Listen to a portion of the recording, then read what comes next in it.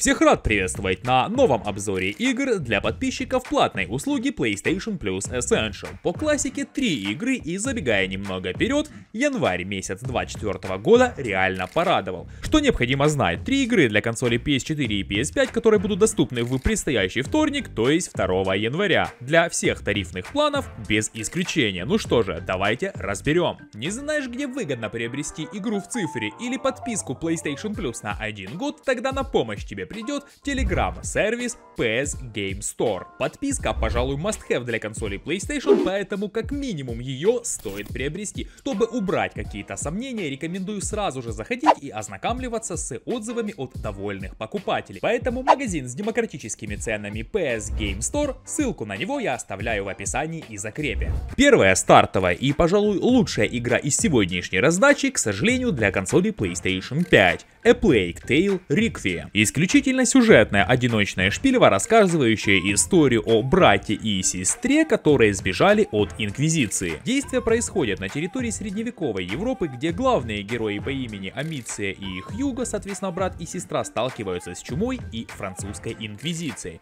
События игры обещают драматический сюжет, где игроки будут исследовать темные и опасные места, решать головоломки и выживать в условиях эпидемии. Офигенная графика, эмоциональные моменты моменты и взаимодействия с толпами крыс делают Риквием захватывающим продолжением этой уникальной истории. Поэтому берем себе на заметку. Следующий экшен с элементами ужасов Evil West.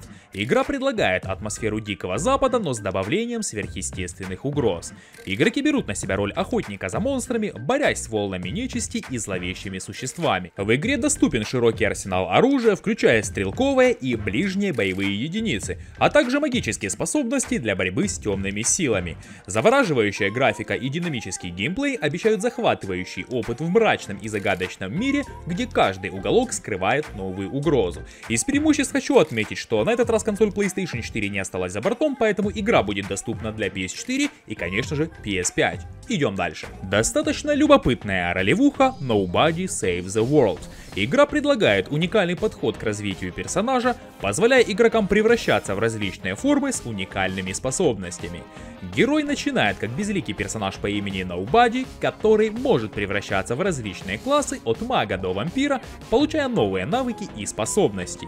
Задача играющего проста исследовать разнообразные уровни, сражаться с врагами и решать головоломки, чтобы в конечном итоге восстановить порядок в мире. С привлекательным пиксельным искусством и нестандартным подходом к геймплею, Nobody Save the World предлагает увлекательное и разнообразное приключение на PS4 и PS5, конечно же при наличии активной подписки PlayStation Plus. Тоже мне хочется сказать напоследок. Первая раздача PlayStation Plus в 2024 году реально порадовала, по крайней мере лично мой опыт. Давно хотел поиграть в A Plague Tale и вот будет отличная возможность, чтобы его пройти и даже апнуть платину. Также попробую обязательно Evil West. Давно присматривался к этой игре, ну собственно говоря дали по подписке PlayStation Plus, а почему бы и не попробовать. Главное, чтобы было время. Своим же мнением касательно раздаваемых игр в январе 2024 года ты можешь поделиться в комментах под этим роликом. С вами был канал Games Mafia, всем до скорого, пока!